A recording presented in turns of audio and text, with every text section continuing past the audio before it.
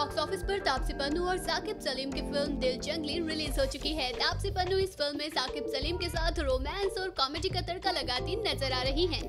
Well film के release के बाद लोगों को इंतज़ार रहता है बॉक्स ऑफ़िस कलेक्शन का। तो इंतज़ार किस बात का बताते हैं आपको कि दिल जंगली ने पहले दिन कितने करोड़ों की कमाई की है। बता दें कि फ़िल्म ने पहले दिन लगभग दो करोड़ का बिज़नेस किया है। वही बात अगर फ़िल्म के ओवरऑल बजट की करें तो लगभग 20 करोड़ के बजट में बनी है ये फ़िल्म इस फ़िल्म को अलिया सेन शर्मा ने डायरेक्ट किया है।